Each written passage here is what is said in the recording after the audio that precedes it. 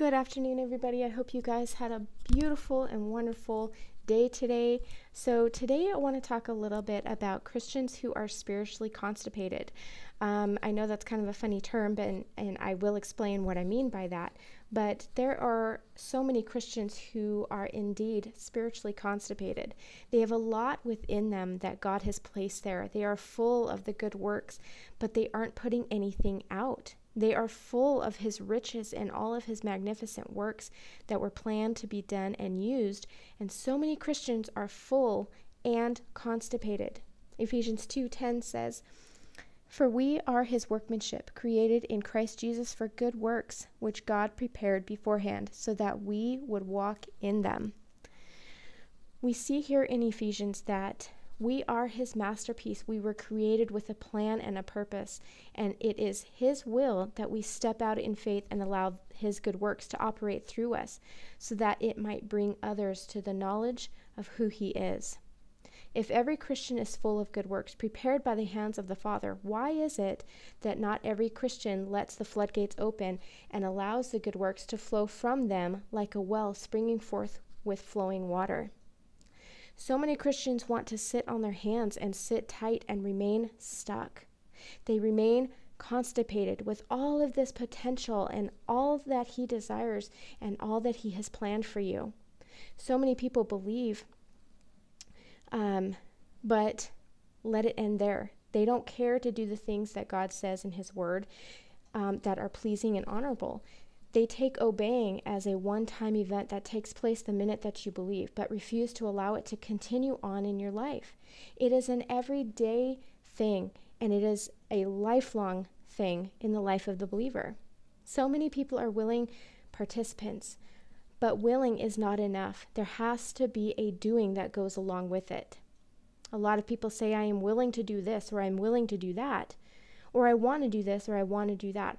Stop saying I am willing and just do. They refuse to take it any further and then in turn say, I'll just do nothing instead. Instead of doing nothing and being stuck and spiritually constipated, why not allow the Lord to release all that He had planned for you? Allow Him to direct your path and allow Him to open doors for you so that you can see His work and be joyful and blessed. Imagine if the ancient church um, would have been spiritually constipated themselves and refused to move? What if they refused to obey God and refused to let go and um, let His works be filled in them and flow through them? Let's take a look real quick at a few examples, and we will begin a new journey here uh, within the next few days, looking through the Bible at all of the situations where people obeyed and even those who didn't, and what happened when they chose to disobey. That will be coming up shortly, and um, I'll be working on that as we go through like the week and stuff. we saw Adam and Eve. They they obeyed God at first. But it wasn't until they chose to be disobedient to God that they were left with a lifetime of consequences. They had a moment of pleasure but because of their disobedience, their consequences are still evident today. So I'm going to read something for you really quick. Okay, so here's some biblical examples of those who obeyed God. Um, they were not stuck, they were not spiritually constipated. God asked Noah to build a large boat. It had never rained before, okay? God asked Noah to do something. Could you imagine if Noah had not obeyed and not had had not listened to God out of fear for what man or what others might say or afraid that he couldn't do it? It was uh, Noah was preserved by um, God and through the flood was able to continue on with the generations. The Lord called Abraham to leave his homeland and follow him. Not only did Abraham experience great material pro- prosperity, but he also became known as the father of the great nation of Israel. Moses obeyed God by telling Pharaoh to free the Israelites. People were freed from slavery, and Moses became one of the most important spiritual leaders in history. Joshua followed the Lord's command in battle. David honored God by refusing to harm his anointed king Saul. As a result, David was made king at just the right time. Jehoshaphat obeyed the Lord when the Aramites attacked Judah. God promised that he would give his people the victory. Peter cast his net in the middle of the day as Jesus commanded. Consequently, he caught an enormous amount of fish because he obeyed what God was telling him to do. More importantly, he saw Christ for who he was and eventually became a leader in the church. God called Peter to follow Jesus. This meant accepting the theology of the people he had been persecuting, the first Christians. Because he chose to obey God and uh, took the gospel to the Gentiles, he became the most influential apostle. So, through all of that, what types of blessings do we receive when we do obey the Lord? Because remember, obedience is not a one time event that happens at the moment of belief. It is a lifetime event that we do daily. We should be daily obeying the Lord. And when we choose not to, and we all do, we all choose to disobey. And when we do, when we go out of our um, Father's will and we go into the flesh, that is when we disobey. And that's when consequences and hurts and pains and loss of jobs and loss of blessings and all of that come with it. God's gifts aren't always obvious. However, when you obey Him, He may bless you with peace and joy and contentment. These internal qualities often result when we step out in faith and obey God. Spiritual growth. The next time God asks us to do something challenging, we have more faith to obey. Eternal blessings. When we stand before God on Judgment Day, will we be rewarded for our obedience or will we have crowns taken away because we were disobedient? Scripture says that we will be honored even for the small things. Suffering for blessing before blessings. Often the first effect of obedience is not blessing, but suffering. Sometimes what God requires of us will initially lead to pain and hurt. So when we experience difficulty, we shouldn't assume we've made a mistake or He has abandoned us. Let's look at two significant examples of suffering as a result of obedience. Moses followed God's commands to lead his people out of Egypt. Although Moses was afraid, he went to Pharaoh and demanded that God's people be set free. At first, things did not go well. Moses' miracles were easily mimicked by the Egyptian uh, magicians.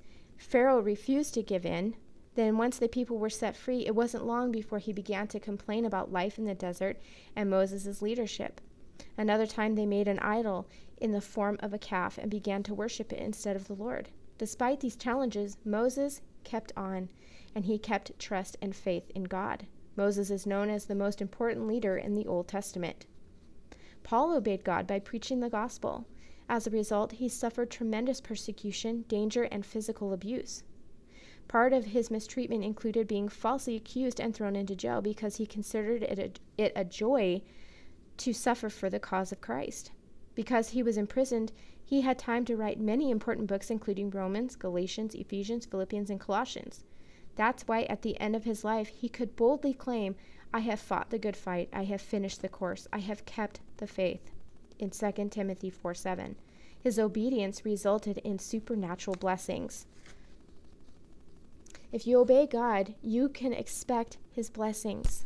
Remember that His choice of blessing you may be different um, from person to person.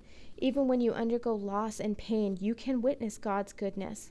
Perhaps He's using your suffering to draw you more closely to Himself, or He's removing those things in your life that keep you from being spiritually fruitful.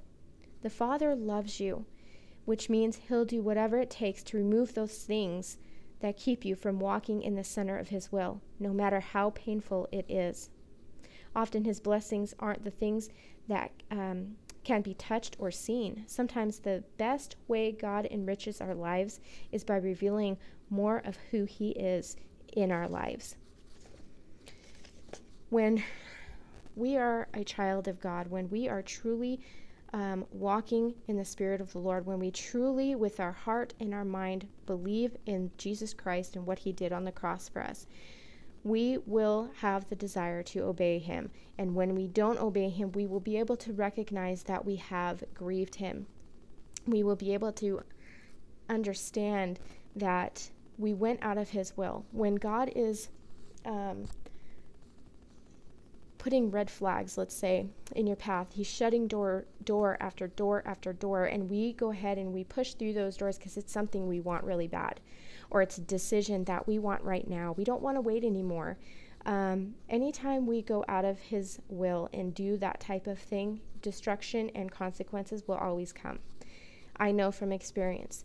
Um, you know, when I was with my um, ex husband, he sent red flag after red flag after red flag after red flag, and I wanted what I wanted. And I pushed through that. I pushed through those warnings. I pushed through everything that he was trying, and he was lovingly trying to show me before it happened so that it would prevent me from being in the place that I was. And I wanted what I wanted, and I went through and I did it anyways. And I am still, to this day, dealing with the consequences of that action. Um, so, you know, when we go ahead and we push through because it's something that we want, our flesh desires this stuff.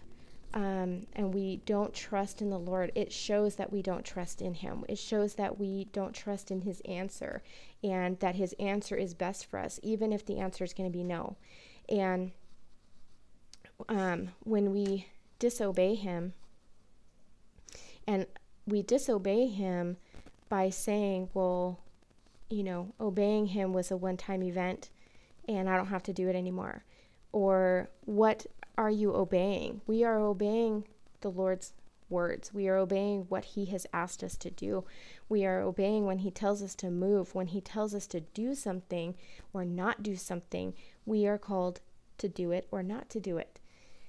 And so when somebody is, like I said, spiritually constipated, they will have all of this stuff that He has put within us. He has put all of this stuff within us to delight His heart for us to give it out through the Holy Spirit, through the power that's within us.